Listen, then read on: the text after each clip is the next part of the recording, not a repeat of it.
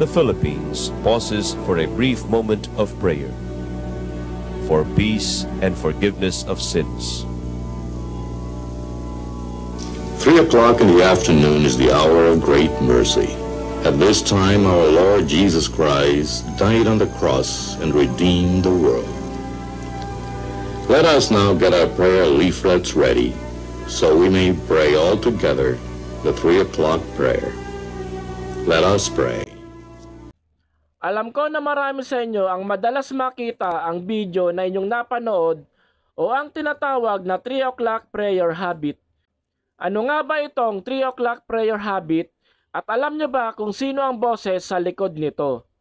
Bakit nga ba nawala ang 3 o'clock prayer habit sa mga telebisyon?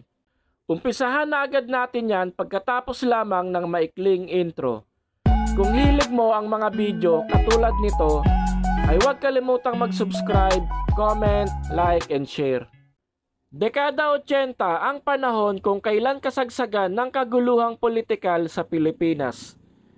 Isang kabanata ng kasaysayan sa ating bansa kung saan ay hati ang sambayan ng Pilipino. Dahil dito, isang radio announcer at servant leader ang nagpasimula ng mga misyon at proyekto para ipalaganap ang nakakalimutang salita ng Diyos. Sa pamamagitan ng kanyang mga ginagawa noon, ay dadampi ito sa mga puso ng mga taong makakarinig. Sino nga ba siya? Ano-ano ang kanyang mga sinimulan na nakatulong para gampanan ang kanyang tungkulin bilang alagad ng Diyos? Siya ay walang iba kundi si Brother Don De Castro. Nakilala si Don De Castro noong dekada 80 dahil sa kanyang inilunsad na 3 o'clock prayer habit noong June 16, 1985. Ito ang kauna-unahang pagsasahimpapawid ng 3 o'clock prayer habit sa buong bansa. Isa itong pang-araw-araw na dasal na isinulat ng isang santa na si Saint Faustina Kowalska. Ang kaganapang iyon noong dekada 80 mula nang magsimula ang 3 o'clock prayer habit ay naging makasaysayan na kalaunan ay naging habit ng mga Pilipino araw-araw at maging ng iba't ibang lahi sa buong mundo.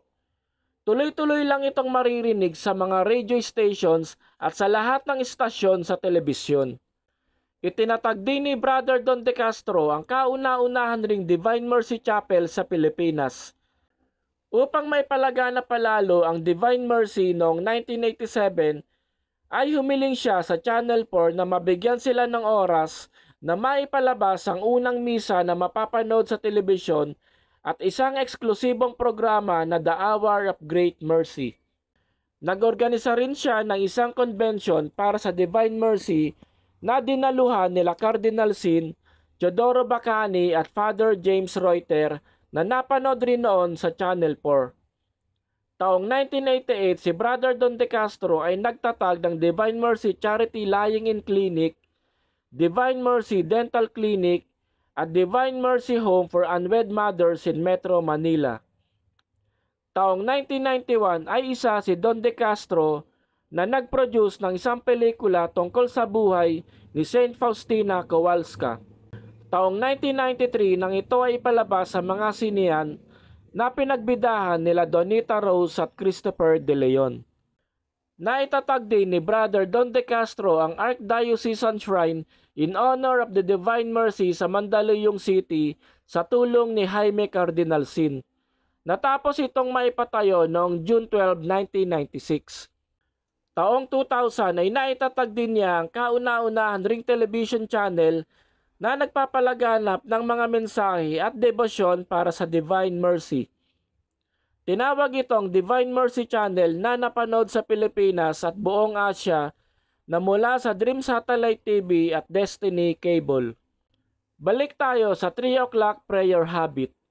Sa loob ng unang dalawang dekada nito na makikita sa mga telebisyon kada alas 3 ng hapon, ay nagkaroon ito ng espesyal na damdamin o kahulugan sa mga Pinoy.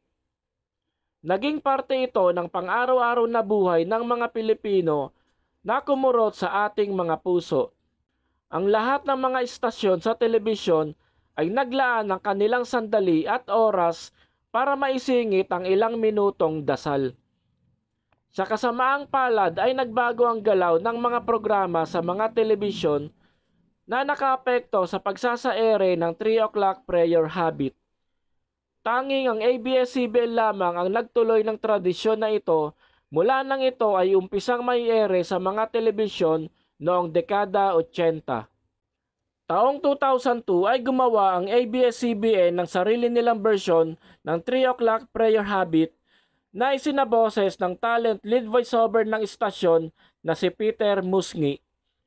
Mayroon pa ulit pangatlong bersyon ang ginawa na siyang ginamit sa DZMM Radio Patrol sa S30 at DZMM Teleradyo.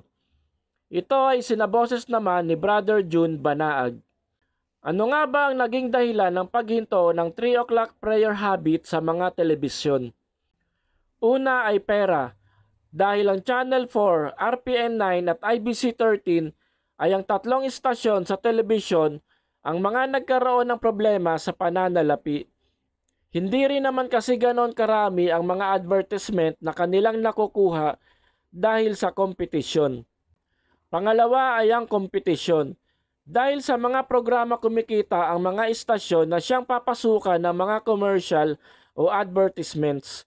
Ang bawat istasyon ay nagpapakiramdaman sa kung anong programa ba ang bago sa kabila na siyang kakalabanin o tatapatan naman ng iba. Kaya nagkakaroon ng mga adjustments, pag-urong at paggalaw sa oras ng mga programa. Kung kaya hindi na mabigyan ng kahit ilang minuto lamang ang nasimula ni Brother Don De Castro. Sa ngayon, ang 3 o'clock prayer habit ay isa na lamang produkto ng nagdaang panahon kung saan ay pinalitan ng mga programang naaangkop sa makabagong panahon. Ang pagpapalit ng panahon papunta sa teknolohiya ay isang malinaw na indikasyon na nawala na rin sa mga tao ang pagpapahalaga sa pagdadasal. Ilang minuto na nga lang ang ilalaan na mapapanood pa sa telebisyon ay tuluyan ng nawala kapalit ng mga programang kapalit ay pera. At ngayong makabagong panahon kung saan ang mga Pilipino ay mas naglalaan ng oras sa internet kaysa sa telebisyon. Ang 3 o'clock prayer habit ay tuluyan ng nawala at nakalimutan. Nakakalungkot dahil parte na rin ito ng mga buhay natin noon. Isa na namang alaala ng ating kahapon ang nawala. Cover the whole world and empty yourself out upon us. O blood and water which flowed out from the heart of Jesus as a fountain of mercy for us, I trust in you. Holy God, Holy Mighty One, Holy Immortal One, have mercy on us and the whole world. Holy God, Holy Mighty One, Holy Immortal One, have mercy on us and the whole world. Holy God, Holy Mighty One, Holy Immortal One, have mercy on us and the whole world. Amen. Jesus, King of mercy, we trust in you. Hanggang dito na lang guys. Thank you for watching. See you on the next video. God bless.